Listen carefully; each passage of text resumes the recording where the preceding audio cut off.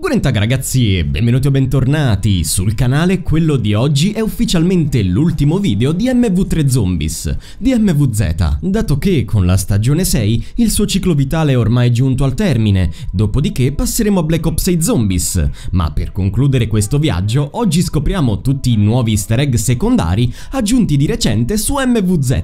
Ti ricordo al volo di iscriverti se non sei già iscritto ed iniziamo. Questo video è suddiviso in capitoli che puoi vedere grazie al minutaggio. I primi easter egg secondari sono nuove rune nascoste in giro per la mappa, mentre quelli che vedremo dopo sono più complessi. Comunque, le prime rune le troviamo esattamente in questo punto nella mappa, nella zona 2. Andiamo nella galleria e spariamo alle tre rune situate in questi tre punti. Come abbiamo visto in passato in altri easter egg, queste rune andranno a formare un triangolo, infatti una volta colpita anche la terza, se ci posizioniamo precisamente in questa posizione, riusciremo a comporre il triangolo. In questo momento inizierà una sopravvivenza e affronteremo tanti zombie corazzati e tantissimi laceranti, le cui anime verranno assorbite dal globo di luce al centro. Terminata la sopravvivenza riceveremo dei punti, un attrezzo d'etere epico o se siamo fortunati anche leggendario e un cristallo raffinato o di nuovo se siamo fortunati potrebbe essere anche un cristallo puro. Altro punto dove sono presenti delle nuove rune è questo e siamo sempre nella zona 2. Mettiamoci al centro dei palazzi vicino alla fontana e troveremo le tre rune tutte intorno a noi, in questi tre punti nello specifico. Colpite tutte e tre, usiamo l'inceneritore o prendiamo una fenditura nei paraggi,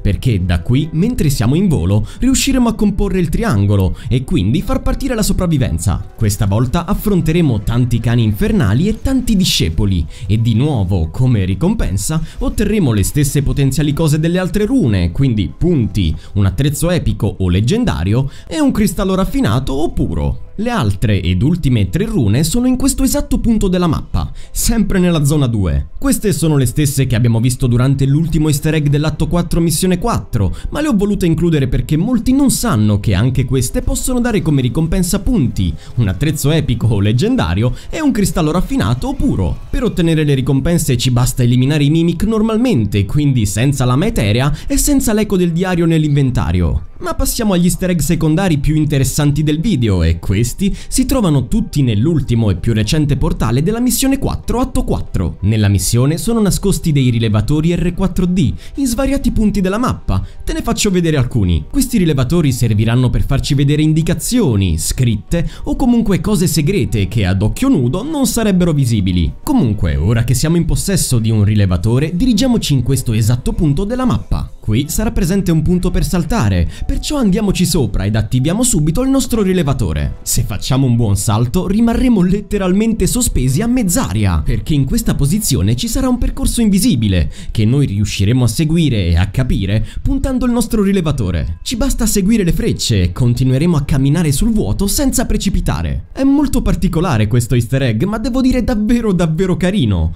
E onestamente mette anche molta ansia, soprattutto se soffri di vertigini. Comunque, continuiamo a seguire le frecce e arriveremo addirittura ad una scala invisibile ed infine ad una scalinata invisibile che ci condurrà alle ricompense, ovvero un Holger leggendario già pacapanciato al 3 e un paio di LT53 Casimir. Per il prossimo easter egg spostiamoci in quest'altro esatto punto della mappa. Entrando in questo edificio, proprio sul muro vicino all'ingresso, riusciremo a vedere una piccola mappa e dei numeri, sempre grazie al nostro rilevatore. Di fianco, invece, noteremo una stanza chiusa a chiave, la stanza scorte.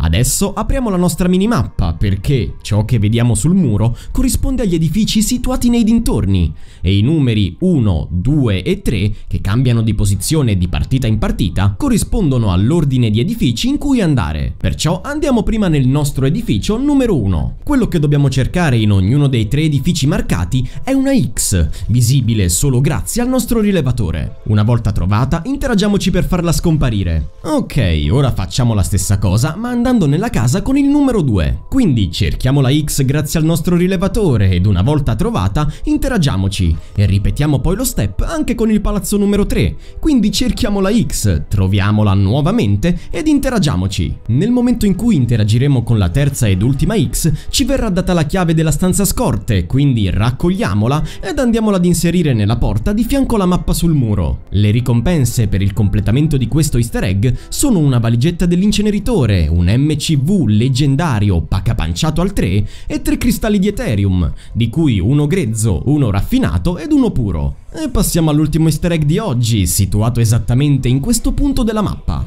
Partendo dal secondo piedistallo da rompere per la missione, spostiamoci su quest'altro isolotto. Qui noteremo una X disegnata su un rialzo, perciò saliamo sul rialzo. La visuale inizierà a pulsare e precisamente in quel punto riusciremo a vedere una statua che emana una luce pulsante. Adesso dobbiamo continuare a mantenere il contatto visivo con la statua e se la statua dovesse uscire dalla nostra visuale anche solo per un istante, lo schermo si oscurerà e riceveremo un avvertimento sonoro di errore. Il nostro obiettivo è quello di raggiungere la statua, mantenendo però costante il contatto visivo con lei. Ma attenzione perché ogni volta che falliremo dovremo tornare sul rialzo marcato dalla X e ricominciare il viaggio. Il percorso non è troppo difficile ma neanche troppo facile, perciò non demoralizziamoci in caso ci dovessimo mettere più di qualche tentativo. Comunque, una volta raggiunta la statua, riceveremo come ricompensa un DM56 leggendario pacapanciato al 3 e un paio di scimmiette. E questi erano tutti i nuovi easter egg secondari di MVZ,